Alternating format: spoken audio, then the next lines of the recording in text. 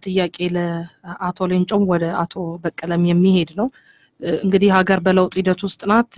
ከውጭ ያላችሁትም እናንተ መታችኋል። ሀገር ውስጥ ያሉትም በመነቃቃት ተሳትፎ እያደረጉ ነው እና በተለይ ደግሞ በትጥቅ የማስፈታቱ ተግባርም በመንግስት በኩል እንዲካሄድበትና እነሱንም በትጥቅ ትግል ውስጥ የነበሩትንም አሰልጥኖ መልሶ ወደ ህብረተሰቡ የማስገባት ተግባር እንዲያከናውንም ይጠበቅ ነበር። በአሁኑ ወቅትም በኦነግ በኩል ትጥቅ የማስፈታቱ ሂደት አንዱ ፈቺ አንዱ አስፈቺ የሚሆን ነገር ነው እና ይሄ ተገቢ አይደለም ሲሉም የኦነግ ሊቀመንበር አቶ ዳውድ ኢብሳም ሲናገሩ ነበር። በመንግስት በኩልም ይህ መግለጫ ተሰጥቷል እና መጪውን የምርጫ ጊዜ ካሰብን ሀገራዊ ለውጦቹን ካሰብን እነዚህ አካሄዶችን እንዴት ነው የምታዩት እናንተ? ትጥቅ ፈቶ ወደ ሰላማዊ ትግል የመግባቱን ነገር ከአቶ ሌንጮ ሊጀምር።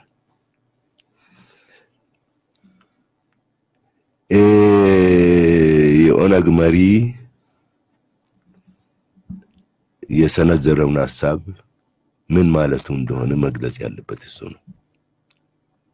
እኔ እሱን ተክቼ እንደ ለመናገር እርሱ አይ እንደ ገለልተኛና ዲሞክራሲያዊ አካሄድ እንደሚቀበል የፖለቲካ መሪ ሁለተኛ የማላውቀው ነገር አለ። ከመንግስት ጋር ምንድን ነው የተስማሙት? ስምምነቱ ይፋ አልሆነም።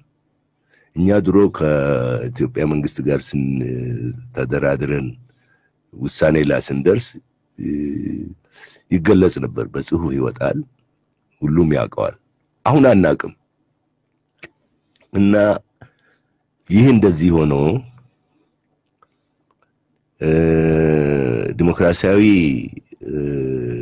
ስርዓትን ለመገንባት ከፈለግን ሰራዊት የመንግስት ብቻ መሆን አለበት።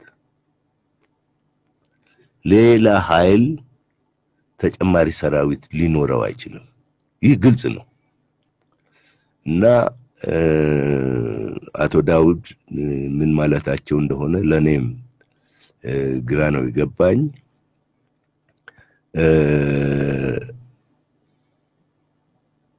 የሚገርመው ይሄ ሰራዊት እንዴት ሲታዘዝ ነበር? ሰራዊት አለ ከተባለ ማን ያዘው ነበር? በምን አይነት እ፣ የሰንሰለት ነበር ሲታዘዝ የነበረው?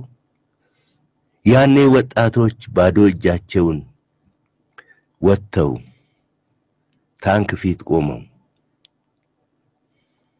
ይሄ ሰራዊት የት ነበረ?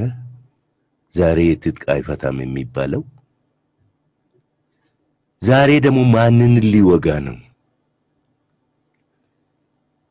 ይሄ ለውጥ ከህብረተሰቡ የመነጨ ለውጥ ነው።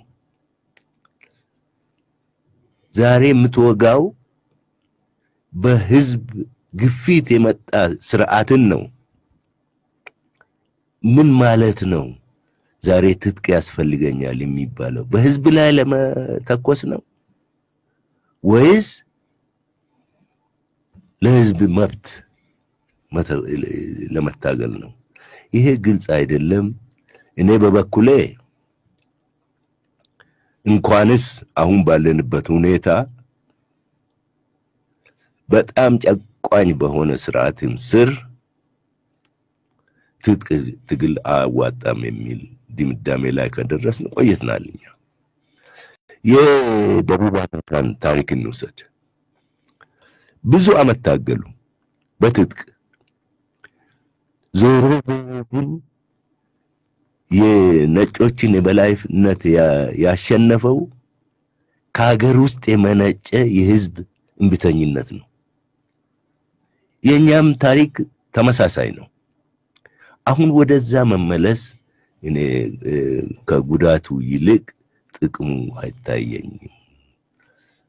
ይሄ ነው አቋሜ በዚህ ላይ።